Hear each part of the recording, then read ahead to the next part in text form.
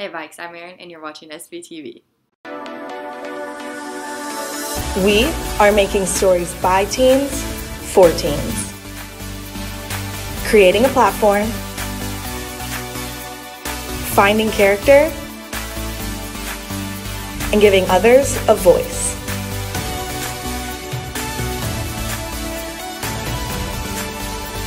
This is SVTV. Valentine's grams will be sold at lunchtime from now until February 11th.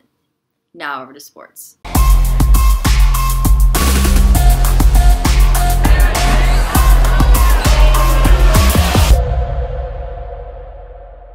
There will be a girls swim informational meeting today in the West Commons during CLP at 1:15. Support your Chiefs by wearing Chiefs gear tomorrow. Now let's go check out the SVTV Athlete of the Week spotlight. Caden Bonners, this week's SVTV Athlete of the Week Spotlight. It's been going good. I I think we're uh, doing good as a team. I I think I'm doing what my my role, doing what, what my coach wants me to do. So yeah. Caden was SVTV's Athlete of the Week for his performance at the January Jam tournament located at Valley Center High School. He had 49 points, 13 rebounds, and 9 assists. I was working on my dribbling and deep defense and trying to get more athletic in my game. Uh, trying to improve my shooting more, passing, uh, just like yeah, just that driving. Uh, I think my IQ is good, like passing the ball, knowing what what to do with the ball to to to get my other teammates a, like a good shot. Uh, shooting, yeah a big goal is to go to uh, state, just do good in sub state, hopefully go to state. That'd be good.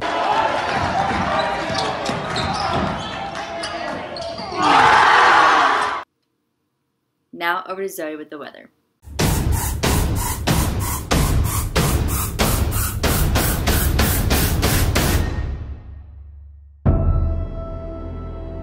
Good afternoon, Vikings our temperatures are going to start cooling down throughout the next couple of days. Some good news is, is that since we've started the month of February, we are predicting more sunlight. We are in the area to re receive up to an hour more sunlight each day. Today is going to be a pretty chilly day with our temperatures only being up in the mid 30s area. This morning we did have some snowfall, but the snow is supposed to be moved out of the area by this afternoon and sunshine replacing it your SVTV 7-day forecast. We are going to warm up tomorrow up into the 40s before we drop clear down into the teens for the next upcoming week. We also have a chance of snow during Saturday and Monday morning, but this isn't going to be as much snow as what we have gotten. Now back to your anchors. Thanks, Zoey. That's all for today, Vikes. Have a great rest of your day.